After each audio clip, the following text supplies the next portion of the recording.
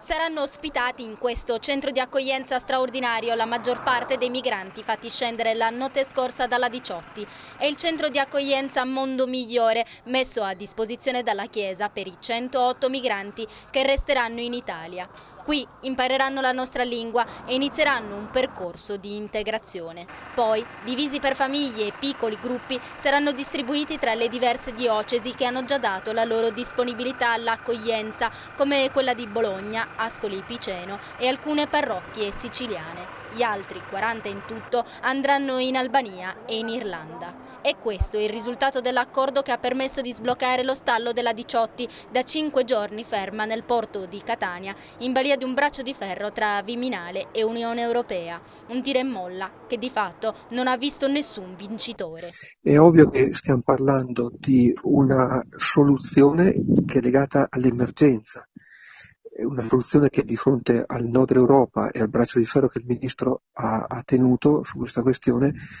era l'unica che noi siamo riusciti a individuare.